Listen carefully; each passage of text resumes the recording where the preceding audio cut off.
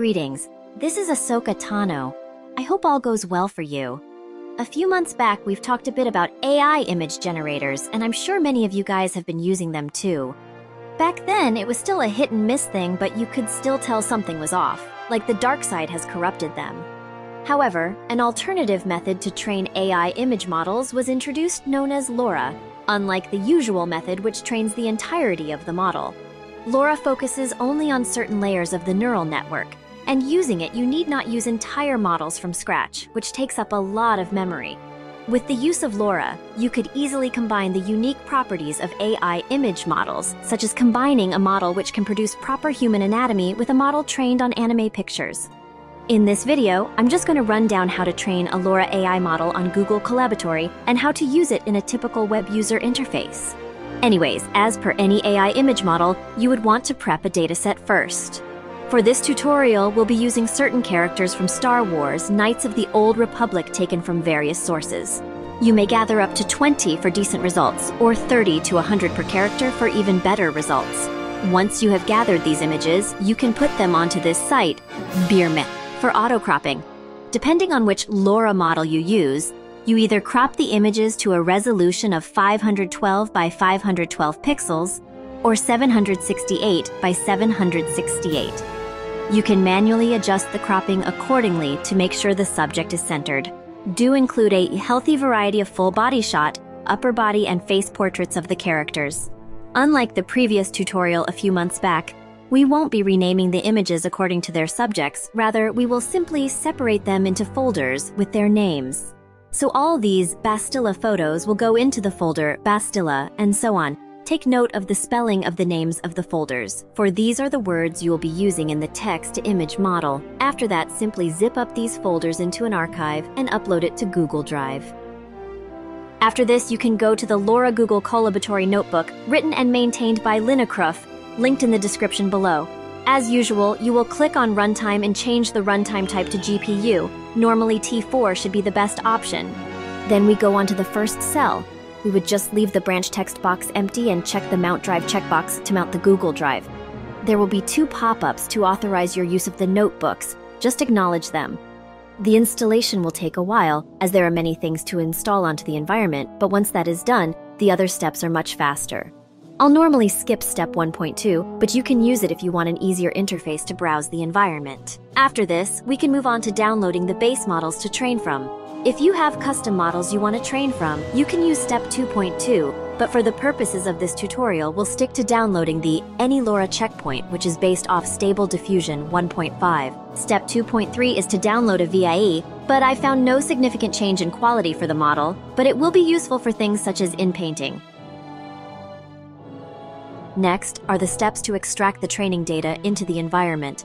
Run step 3.1. If your drive is already mounted, you can skip step 3.2 and simply run the code seen on the screen. Step 3.3 is redundant since we've already manually gathered our data, which brings us to part 4, which is the data cleaning and labeling. For step 4.1, we will run this cell to remove any incompatible file formats like GIF or WebP. Do also check this box if you have images with transparent backgrounds. If you are using it for multi-concept training, be sure to check the recursive so that it can read the subfolders as well. Then for step 4.2, there are two options for labeling the images. Blip for general images and waifu diffusion for anime pictures. Since everyone is always divided on who's the best Star Wars waifu, we'll stick to using Blip here. Remember to check the recursive box here as well to ensure every image gets a tag. A dot caption file will be produced for every image file you have in your dataset, which contains a short description of every image. You can then use step 4, 2.3 to add additional trigger words to the image. Change the extension to dot caption, check on append, add the name of the character into the custom tag and subfolder text boxes, remember that these should correspond with the name of the trigger words you want to use in your text to image generation. And with this out of the way, you can now proceed to configuring the model. Under the Model config, remember to check the V2 checkbox if you're using Stable Diffusion 2 as your base model. Under the project name text box, type in the name of your LoRA model. Edit the paths accordingly. Check Output to Drive to save your models on your Google Drive. For the dataset config, remember to change the extension type to .caption. And you can keep the settings for steps 5.3 and 5.4 on default. If you want to train the model longer, you could increase the number of epochs.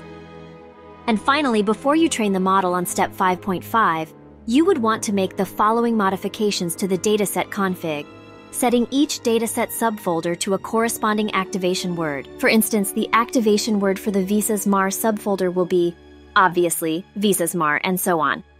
The sample prompt will be used by the AI model to produce a result for every checkpoint saved so you can modify it accordingly and track your progress. Once that is settled, just let the program run and come back when it's finished.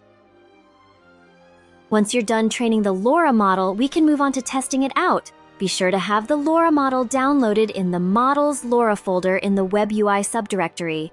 A video highlighting how to install the Stable Diffusion Web UI locally will be made down the line. On the Web UI, ensure that you can select your base model, which is any LoRA in this case, on the top left-hand corner. Under the Generate button, click on the third button to display the LoRA models. Click on the one you wish to use, and you will notice that this bit of text has been added to the prompt text box. You can adjust the weights accordingly from 0 to 1 to see how much it'll affect the result. Next, I'll just paste a quick baseline prompt here and add these additional words to produce a nice selfie of Bastila Shan. Under the negative prompt, you may want to add these words like so, in addition to many other things such as JPEG artifacts, blurry photos, and so on. Prompts such as 8K photo, best quality may give you better results. But just let the model run its generation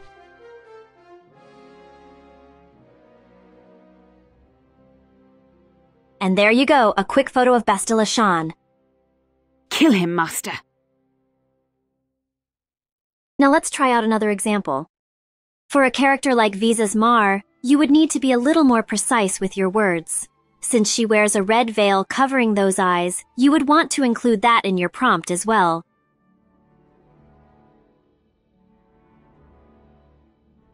Imagine its energy, its texture, in tandem with the breathing. Okay, that's a quick rundown of how to train a LoRA model and how to use it on stable diffusion. You can try combining your LoRA models with other ones and produce some interesting pictures. But anyways, I'm running out of 11 Labs voice credits, so I can't stick around for long. If you're new to the channel, do consider liking and subscribing, and may the force be with you.